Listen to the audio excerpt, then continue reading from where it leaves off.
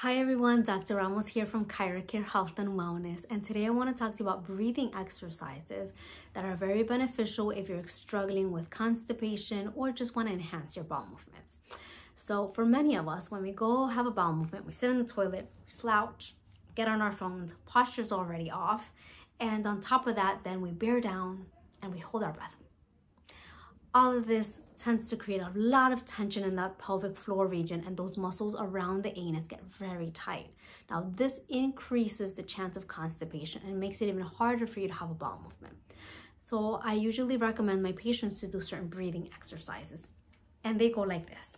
I tell them to imagine that you're filling up a balloon in your abdomen. Take a deep breath and fill up the abdomen. And then as you're releasing, you can make a sound. So it can go like this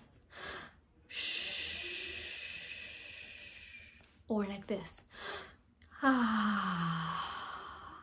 if you're doing this as I speak, then you've noticed that it does relax the pelvic floor region.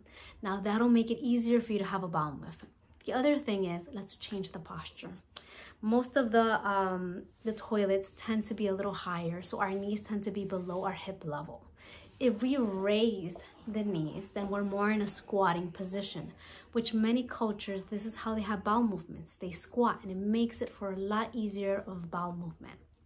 So there's actually devices that are called squatty potties that are meant to put around the toilet and you can just put your feet on them and it raises your knees above hip level.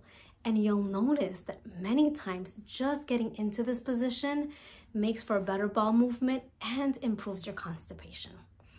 So these are the two tools that I prescribe to my patients so they can practice if they're experiencing constipation. I hope they're helpful for you.